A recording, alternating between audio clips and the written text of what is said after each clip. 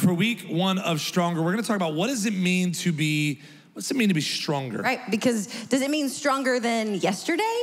Does it mean stronger than our rude coworkers? What kind of strength are we talking about? For me, I find myself standing in the kitchen, and it's just me, it's just me and my thoughts. And I'm like, do I mm. choose Blue Bell? And I'm like, no, be stronger. I used to wear a What Would Jesus Do bracelet, but it really it meant What Would Jackie Do because of the mm. J. And then I'm like, I'm not gonna sacrilegious. go. I'm not gonna go with Blue Bell. I'm gonna go with Ben and Jerry's. Right. Right. Stronger. For me, I have to be stronger than gluten because, you know, when he's making all the gluten free jokes, he's really criticizing his own wife I'm not- from the platform. Can you believe The this? gluten-free products, Yes. they're rough. They're Feel for me. it's like cardboard, it melts like Oh. cheese. I don't know what it is. So sad. It's easy to see though, and I think we can all unanimously agree, it's easy to see outward strength. Like you can tell when someone is disciplined to working out, Yeah. and we, can- we can see outward strength. Because we think of the obvious muscles, Yes. right? When we think of strength, we think of the obvious. We think of muscle. I think of my friend Dwayne. you think of Dwayne. Yeah, Dwayne. You mean this Dwayne? Yes. That's the Dwayne we think of. I think of Dwayne. All right, give the people what they want, Dwayne. Okay. This guy's got the eye of the That's tiger. one. All right. Yes. All right, Nobody is enough. going to question the strength of this man right here because this is what we think of. Look, yeah. Dwayne and I are actually going to be, he's going to be my stunt double in a new movie. Oh. It's not called The Fast and the Furious. it's called The Faith and the Curious. It's a, it's going to Oh. not be in any theaters. I actually beat him in arm wrestling two weeks No, ago. No, you didn't. No, you didn't. You did not. Because that is a different level of discipline altogether, right? And nobody's questioning like that he's strong, right? Nobody's questioning that in the natural he's strong. But we're not going to talk about that type of strength this weekend. Right. We're going to talk about a different kind of strength. Because in this series, in our Stronger series, we know that every day carries its challenges, right? But it also provides us with an opportunity to become stronger in Jesus. And that's what we're talking about in this series. We're talking Yes. about being stronger in Jesus. And we're a foundation Bible based church, so you're going to pick up a lot of scripture, and we encourage you to take down notes. Isaiah chapter 41, verse 10 says it this way Do not fear, for I am with you. Do not be dismayed. I love that we're in the month of May, like, it's ah. gotta be May. Gonna be May. All right, anyways, do not be dismayed. Sorry, it's gonna be all day. For I'm your God, I will strengthen you and help you. And I love this last part I will uphold you with my righteous right hand. When we lean into his presence, we actually are relying on the strength from God to us and through us. Yeah. It's, it's a great verse. And I love this scripture because it's actually a prophetic encouragement from Isaiah, the prophet Isaiah, to the nation of Israel. And in this encouragement, you have to know where they were in this time. This was a, a declaration of God's faithfulness because in this period of time, they were facing exile and defeat. And it was his promise to help them. It was his promise. And it's important to note in this particular passage that there was reason for concern, y'all. There was reason in this place that he was saying, Fear not. Yeah. Because they had reason. They were actually facing something. Has anybody ever faced something before? How many Anybody are- ever? How many of y'all are currently facing something? Like, Right. let's be honest, you're in the middle of something. Right. And Isaiah was saying from the heart of God, he was saying to them, hey, hey, don't let worry Yes. overtake you. Even though you see something in front of you, don't be consumed by worry. And, and, and God was literally conveying it to Isaiah and through him saying, Listen, I'm gonna help you. I'm gonna literally reach down into your situation. We all wanna be delivered from the fire. Right. Like that just makes things easier. But sometimes God plucks us up out of the fire. Right. And then the beautiful thing about that story with Shadrach, Meshach, and Abednego was they were in the fire. They had to walk through it. Again, how many of y'all have gone through some things? Come on. Because if God brought you to it, He's gonna bring you Through it. through it. And the beautiful thing about that story was they, they didn't smell like smoke. Their clothes weren't burned up. So God is literally telling him, hey, you're in the middle of this because we all experience moments of defeat. We all experience what feels like exile. We all go through broken moments. We all have wounds of many kinds. Some look like scars. Some we're still trying to put band aids over areas we need stitches. But how do we get stronger? And this is what unpack today. This is what we're going to unpack today. How do we get stronger in the midst of life's painful moments. Yeah, I think that we have to first ask ourselves the question when we're talking about getting stronger. Because when we walk through these things in life, when we walk through these darker times, anybody ever found yourself where you're like, I wish I'd responded differently? I wish that yeah. faith had been my first response. I yeah. wish that I didn't get so consumed so quickly. And we find ourselves saying, okay, the next time I face this, I'm gonna be stronger. But I think the thing that we have to ask ourselves first is if we recognize recognize that Jesus came, his whole entire purpose was to come to offer us help. If we recognize that, then why do we consider help to be such an ugly word? Wow. Think about it. Because, if we know. Because help feels like it makes me look weak. Yeah. But if we know that Jesus came to bring us help, why do we look at help like it is something so shameful? But how many of you know that we do overall? If you know that you need help, oh, I must be weak. If they really need help, oh, they're really, really weak. They haven't gotten it figured out yet. Why do we do this when we know we were going to need a Savior? That was the purpose. And we have to recognize that people are struggling everywhere. Everywhere. There is a great struggle happening in our nation at the current time. It is easy to dig our heads in the sand and say, well, 20 years ago, this was the way things were. We don't live 20 years ago. And the enemy is crafty. I was talking to a gentleman out in the lobby during the Freedom Encounter, and he was telling me some stuff he was walking through. And I said, hey, man, look at me real quick. This is what the enemy does. He's crafty. He has his tricks and his schemes and his patterns. And this is what he's trying to tell you. You're the only one dealing with this. Yeah. And he goes, You're right. I said, But let me, I've got great news for you. You're not the only one dealing with this. You're not the only one struggling in these areas. That's why we need help. Yeah. That's why we need help. So, can we talk about it for just a moment? Can we Absolutely. talk about some realities that our nation is facing? Yes. Because as of 2020, suicide is literally the second leading cause of death in American children ages 10 to 14. Wow. That's a heavy one, right? Sobering. But it's a reality we should be aware of, right? That is the second leading cause, only second to accidental death. Wow. That is only what it's second to. And because of the mayhem that ensued in that year of 2020, depression is up 28% across the nation, anxiety is up 25%. There are over 40 million adults that are affected every year by anxiety. Some studies show over 42 million, and 25 million adults struggle with ongoing depression. These are real statistics, the reality of where people currently are. So for us to still look back at that word help, like it's ugly, we have to evaluate ourselves and see where are we in the midst of this. So um, you're brilliant. Um, you have your master's degree in counseling. I'm married. So I'm married. Sweet. I'm married all the way up. Top shelf here, folks. Um, and my family dealt with so many addictive issues. And when we were talking, you, you said, man, 93.5% of adults with substance abuse struggles, which is where my family came from, uh, they're not actively seeking help. And they didn't get 93.5% didn't get any help in 2022. So they're dragging the residue of year after year after year. And this estimated number of adults in the US that had serious suicidal thoughts, like thoughts that uh, people would be better off if I was no longer here is around 12 million people. Now, we say this not to just talk at you. Maybe you struggle with this. Maybe you're watching online and you're like, yeah, I can actually fit myself into some of these categories. The Israelites in Isaiah chapter 41 were not the only ones facing defeat and despair. These are the facts. We wrestle with things and we deal with things every single day. But thank God we have the help of the helper. Yeah. Thank God we have a Savior who loves us and not only loves us, but actually chooses us. It's massive. And we share this not to put a wet blanket over over our no, day. We're getting stronger, y'all. But the fact is that pretending doesn't fix anything. Amen.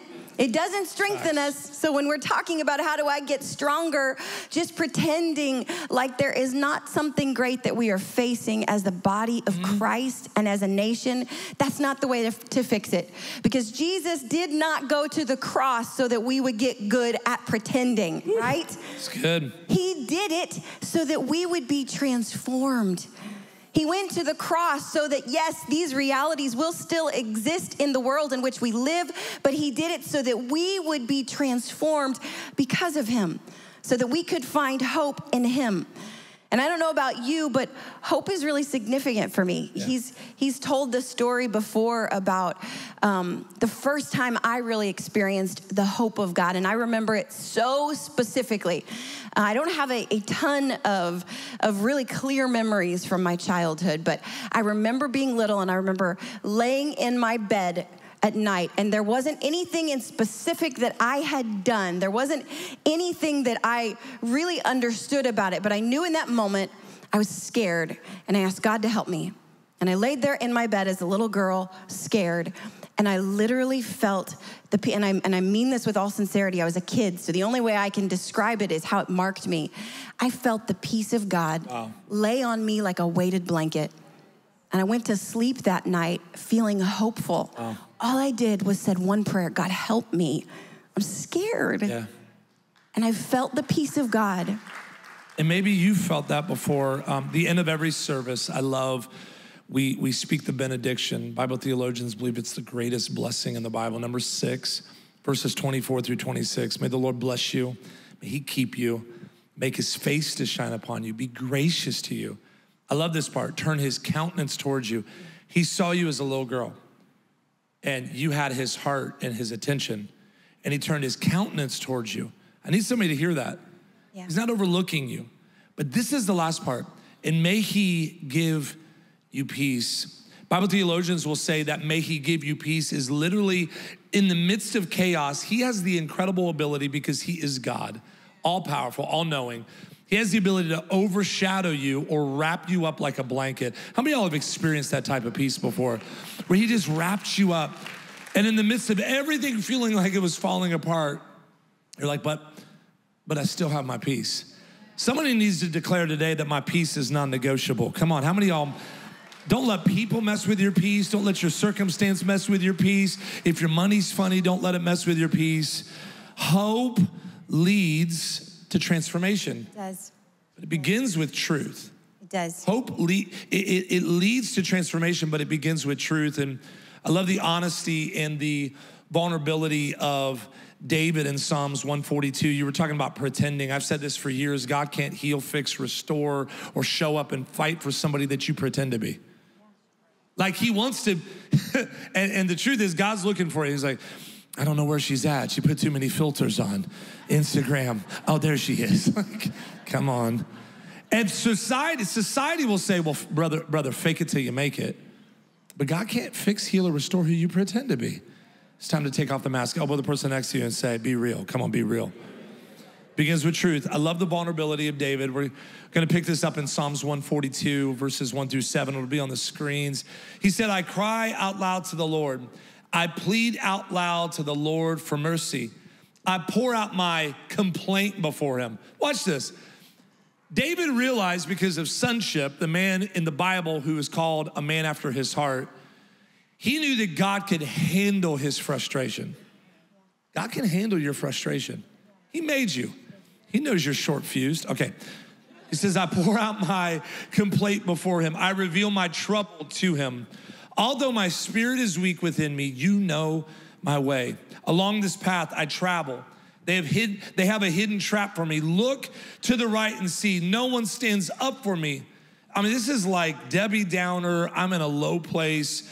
There is no refuge for me. No one cares about me. How many y'all have ever prayed these prayers? Come on. Well, you're in good company because David prayed these prayers. But then he says, I cry to you, Lord. I say, You are my shelter. You are my portion in the land of the living. Listen to my cry, for I am very weak. Rescue me from those who pursue me, for they are too strong for me. Free me from the prison so that I may praise your name. And here's where it shifts. He said, The righteous will gather around me, because you deal generously with me. He knew in the midst of a low place, God was gonna fight for him. How many of y'all are grateful for a God who is fighting for you?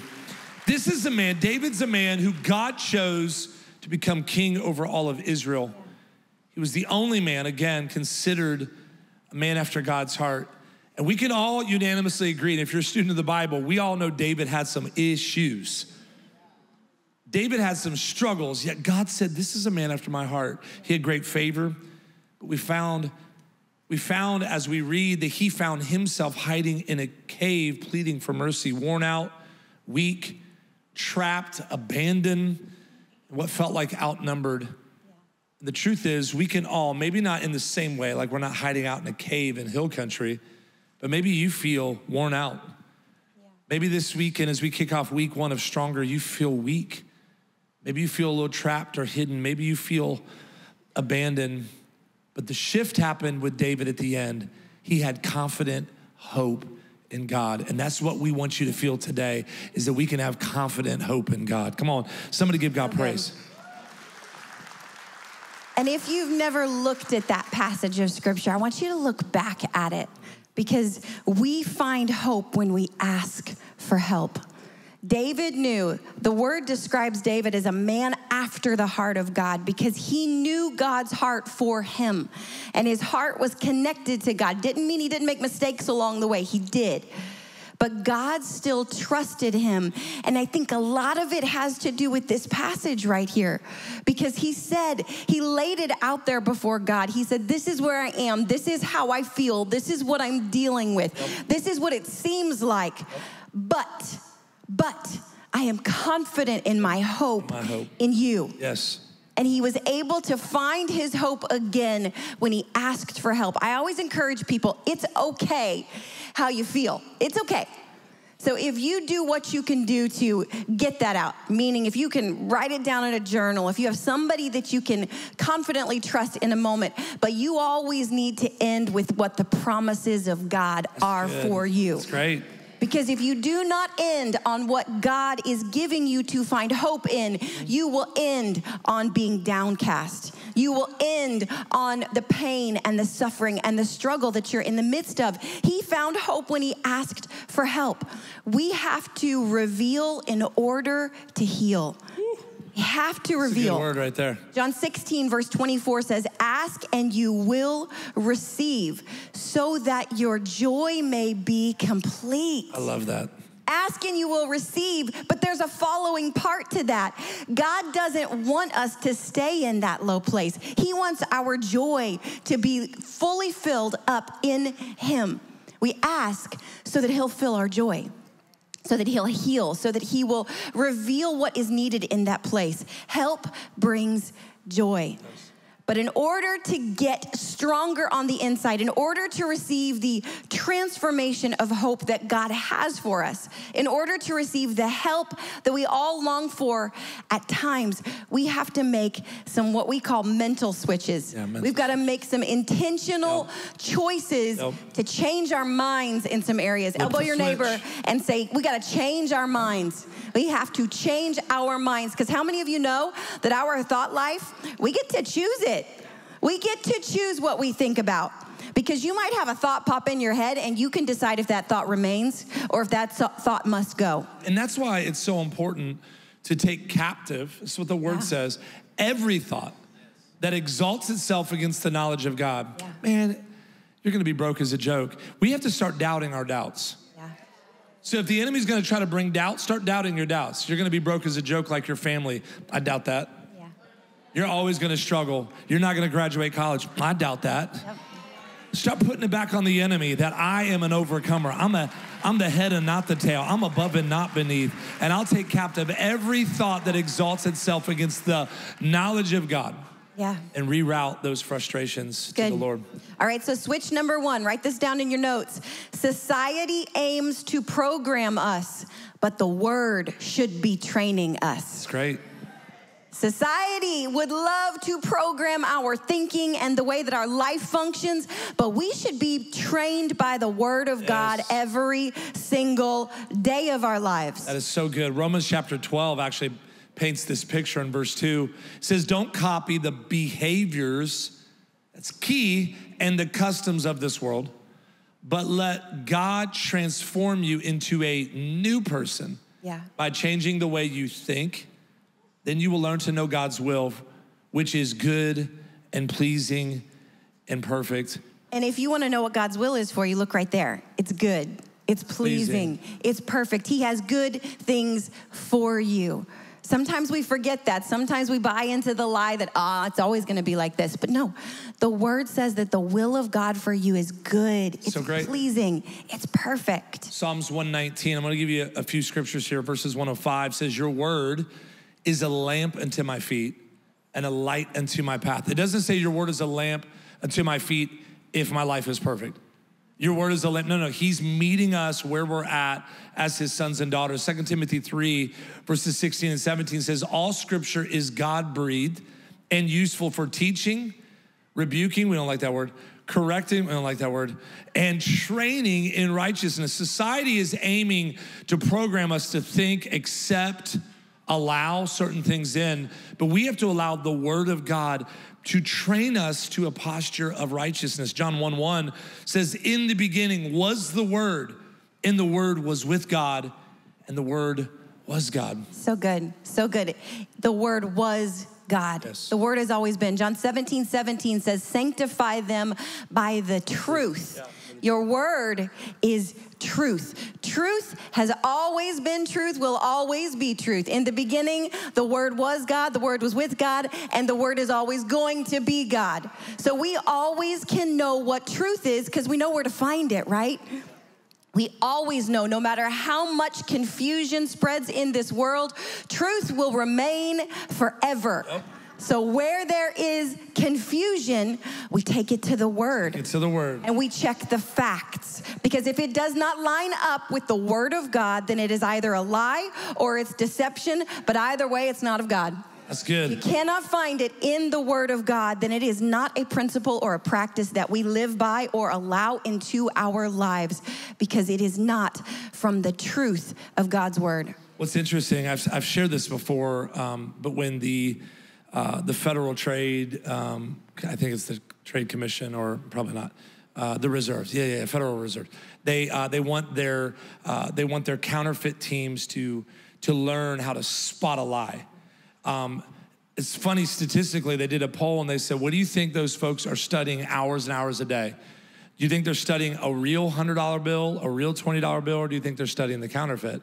Statistically, people said, Well, the counterfeit.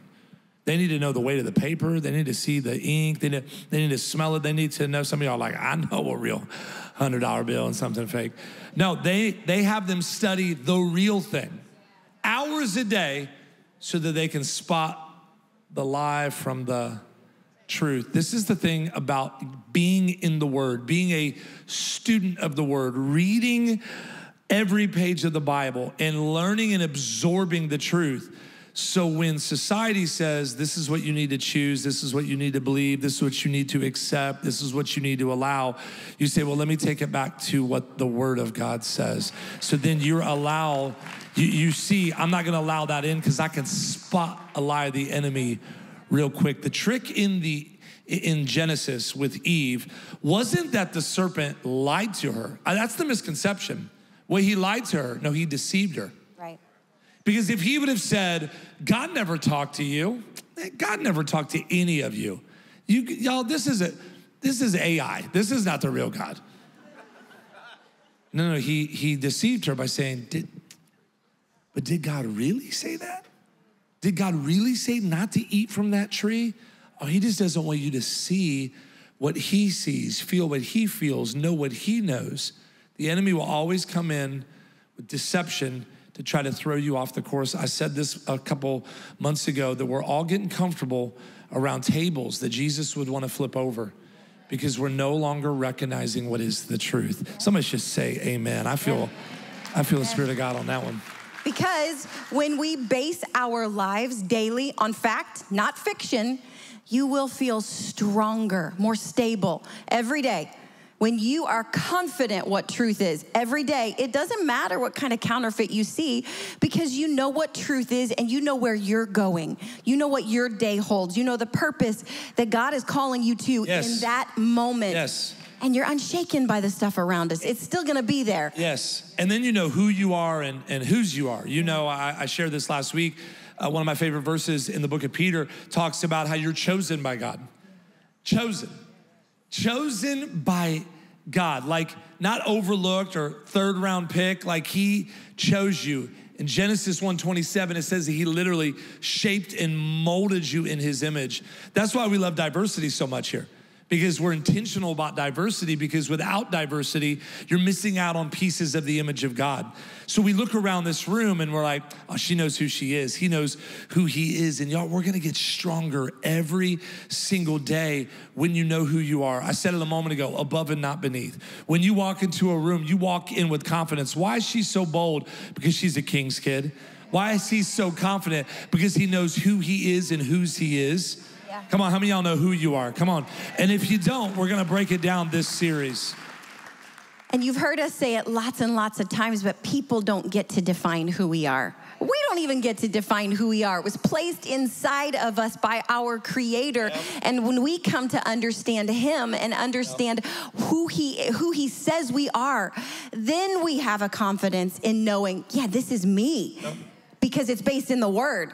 It's based in what God defined to be who I am, who He placed in my life. And what, knowing that, what does the word say that we have every day? We have victory in Jesus. Yes. That's where our victory comes from. It comes from Jesus. And that brings us to our switch number two. Switch number two is that self focus limits us, but Christ mindedness empowers us. That one stepped on some toes. Self It's good. focus. Self awareness is really good. Mm-hmm. Our point number one, we're talking about how help is a good thing. Asking for help is good. Self awareness is good, but being self consumed is the enemy's favorite thing. It's his favorite place to mess with us. True. He will use any tactic he can to keep our focus inward and on ourselves. We should be aware of what we're dealing with so that we can ask for help. But if we do not see that everybody else around us is also dealing with things, then we will become so lost in our own pain that we cannot see God can still use you in a broken place to help somebody else in a broken place. Good. And I've used this example before. I held up a mirror and I said, it's really, really difficult when you're consumed by me, myself, and I. That trap is real. And you're constantly holding up a mirror. I can't see, I can't see the three rows in front of me here because I'm too consumed by. Let me get my angle. now, but we're here. We're so self focused, so self consumed that what if God, in the midst of your journey, your process of healing and preparation and preparation, what, what, if, what if God wants you to get in the way of someone else's storm and say, hey, let me encourage you. I'm a work in progress myself, but God sees me. And if He sees me, I'm telling you, He sees you and He'll fight for you and He'll restore you and He can show up and be with you. It's good. Proverbs 18:1 says, Whoever isolates himself seeks his own desire. Wow. And how many of you know that in some of the lowest places, that is what is on repeat in our minds, is just to pull away, Yep. to pull ourselves back. The but the that. word says, whoever isolates himself seeks his own desire because we are only thinking about ourselves in that spot. He breaks out against all sound judgment. Wow. Isaiah 26, verse 3, one of my favorite scriptures, it says, You keep him in perfect peace, whose mind is stayed on you. Why? Because he trusts in you. Because he trusts in you. We have to focus on Jesus, y'all. That is where our strength lies. We have our victory in Jesus. And it's don't get it twisted. It's good to you know take care of yourself. Some of you are like, I do like facials, but being self-consumed, it literally changes the trajectory of how Jesus modeled things for us and how He wants us to live out our lives. I talk about ambition all the time in leadership teachings. That ambition is a really good thing until it becomes unhealthy ambition. and you start putting all the attention on yourself and you take your eyes off of Jesus. At the end of the freedom encounter last night, I talked about how Peter stepped out of the boat, was the only other man documented in the Bible to ever walk on the water. And he was able to walk on the water until he took his eyes off of Jesus. He, he put his eyes on the storm, put his eyes on his own insecurities, his, his own issues. So we have to be very, very careful to redirect those things to the Lord. Philippians, if you're new to the Bible, Philippians chapter 2, verse 2 says, Complete my joy by being of the same mind, having the same love, being in full accord and of one mind. See, when we put our eyes, we fix our mind on the thoughts of God, and then we surround ourselves with those that are around us. This whole iron sharpening iron thing is real. And what it does is it takes the attention off of you. Okay, so mental switch number three. I love this one. You've got this only because God's got you.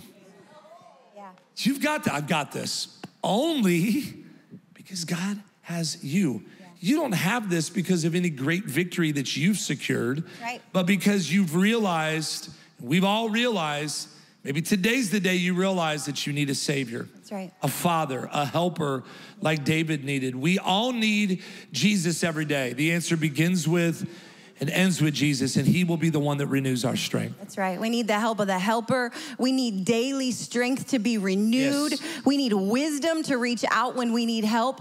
But we also should be asking people how they truly are. We should be asking, How are you doing? and mean it. We should be praying in the moment, y'all a lot more often. When we recognize a need, we have a tendency to say, I'll pray for you and go on about our business. And then, how many of you, you don't have to raise your hand, but actually pray later? We should be praying in the moment. We should be a people that pray. So good. We should be a people that pause what we're doing and pray and ask God for help. Because it's really easy to just send somebody a text with praying hands emojis. Mm-hmm. Man, I'm going through a lot right now. Oof.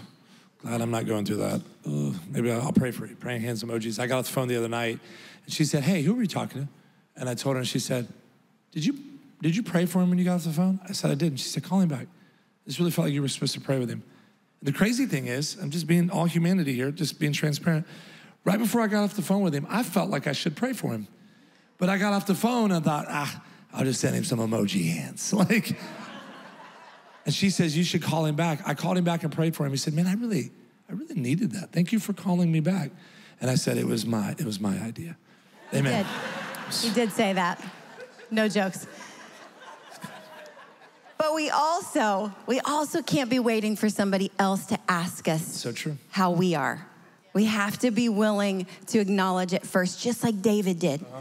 Psalm 34, verses 17 and 18 says, When the righteous cry for help, the Lord hears and delivers them out of all of their troubles.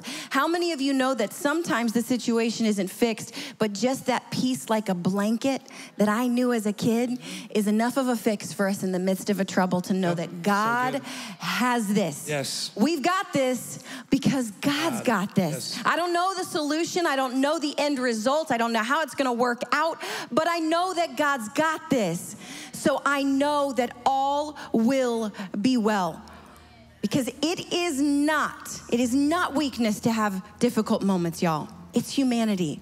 It's yeah. our humanness. Yes. Matthew 11, 28 says, Come to me, all who labor and are heavy laden.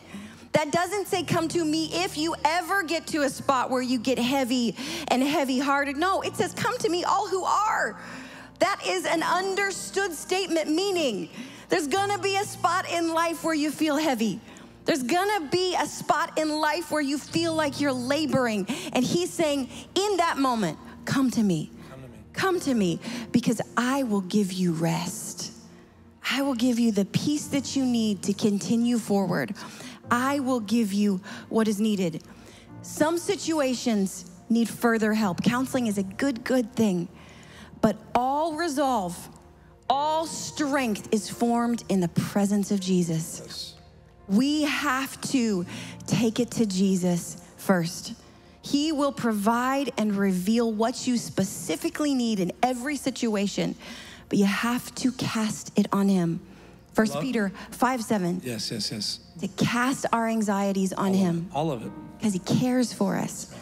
We have to cast it on him first. But how many of you know that casting something, that's an action? Yes, it is. It's not just let it roll off of you. No, it is pick it up and chuck it. Let go of it. Get rid of it. One of our Like you found a bomb without a pin in it. You got to get out. that thing as far from you. grenade. As, same thing. You got it. You know what I meant. you know what I meant. Cry like, for help. Go ahead. I love at 1 Peter 5 7, you just referenced it, the word cast. Uh, had a- we had a father in the faith said, You literally know what that means, right? And he said, It's not like a, he said, It's the picture fishing, and you're about to throw your line out. Zzz. That's pretty good. That was Imagine, not bad. I get these sounds all the that was time. actually pretty good. Walk down the hallway. You all saw it and you heard it hit the water. That wasn't bad. Okay. But he said, you, you, you, you sling it out there. You get it, literally, you throw it as far as you can. Get that mess away because God never designed you to carry it. Jesus himself in the Garden of Gethsemane was, was crying out to God because he knew what was ahead. He needed God to show up in that moment. He needed a little bit of peace in that broken time. He was fully God and fully man. What he did was he went to the garden and he took it to the Father first. With your eyes closed just for a moment, maybe some of you today, there's some things in your life. And I want I want to I want to follow Jesus' example in this moment. Maybe you haven't taken your requests or your struggles or those things that you have been compartmentalizing to someone else. So this is our prayer today is that you would take it to the Father first. Maybe you need help today. Maybe you need hope today. Maybe you need the Lord to show up today and but here, here's your step. You have to reveal it in order for him to heal it. Because he's not a forcer. He will not just pull it out, He will not just remove it. You have to open handedly say, God, I make room. I will make room for you right now, and I'll reveal this so that you'll heal it. And with all of your eyes closed, let me just pray for you really quickly. Lord, if if there is anyone in this place that would say, I, I need help. I need help from the helper. I need help internally. I need help with an external situation. I need your help. I need some supernatural provision. I need some supernatural relief. In the name of Jesus today, I pray for great peace to just flood you and cover you right where you sit. I ask for the peace of God that passes all of our understanding to remind you in this moment that God's got you covered. You are covered. You are covered on every side, and He will reveal to you as you seek to be closer to His heart exactly what to do next. I pray for peace in the mighty name of Jesus. Thank you, Father. Would you stand to your feet for just a moment? Every eye closed just for a moment, if you're here and you would say, Pastor Daniel, Pastor Jackie, here's the reality. Uh, I haven't asked for help. I actually need some hope. And I need some joy. I, I need peace in my life. And with every eye closed, the reason we do all of this, the reason we gather weekly across all of our locations and people by the thousands watch and watch parties and house parties around the nation is because we're all longing for a Savior. Maybe you know the Lord, maybe you walk with Him, and maybe this was a great reminder of how to be stronger. But maybe you're also here and you would say, Daniel, here's the truth. I don't know Jesus as my Savior, but today is the day I want to give my life to Him. The Bible says in Romans 10, verses 9 and 10, and we don't pray prayers just to pray them. It's not a ritual here at Hope City. We pray according to the word in Romans 10 that says, Confess with your mouth and believe in your heart that Jesus is Lord, and you will be saved. So maybe you're the first invitation. You want to give your life to Jesus for the very first time. Maybe you're the second invitation. You say, Daniel, Jackie, I want to get stronger, but the truth is, I've found myself in a pit. I found myself in a ditch. I found myself choosing myself. I've been self consumed and I've gotten caught up in the prodigal life. And today's the day I want to rededicate my life. I need internal strength again, and I know that it's found in the arms of Jesus. Whether you're the first invitation for the first time salvation, you're the second invitation for rededication, I'm gonna count to three. And at Woodlands, at Katy, watching online right now, you can say yes to Jesus, and our team will help you here at West Houston. One, I wanna give my life to Jesus for the first time. Two, I wanna get stronger. I wanna rededicate my life to Him. Three, if that's you, would you lift up your hand? I'm looking all over the room. I see you. One, two, three, four, five. I see you. Six, seven, eight, nine, ten, eleven. I see you. Come on, let's give God praise. I saw you, my friend. I see you all on the way in the back. It's a good day. Can everybody pray this prayer with us? Say, Jesus, it's me. From today on, I'm choosing to live for you. I need all my strength from you. Thank you for hanging on the cross for me, even though I didn't deserve it. You did it because you said I was worth it. I confess all of my sins, all my struggles, all my selfishness, all my selfish ambition. I surrender it all and I ask for your forgiveness because in you I breathe, in you I move, in you I have my being. So I choose you as my Father, my Savior, and my Lord. In Jesus' name, amen. Come on, can we give God praise?